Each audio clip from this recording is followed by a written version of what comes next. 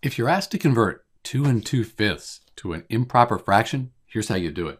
So right now we have a mixed number. We have our whole number, that's the 2, and then we have our fraction, the 2 fifths. So that's a mixed number. But we want an improper fraction. And here's how you do it. You take the whole number, 2 here, and multiply it by the denominator, 5. 2 times 5, that gives us 10. Then we add that to the numerator. 10 plus 2 gives us 12.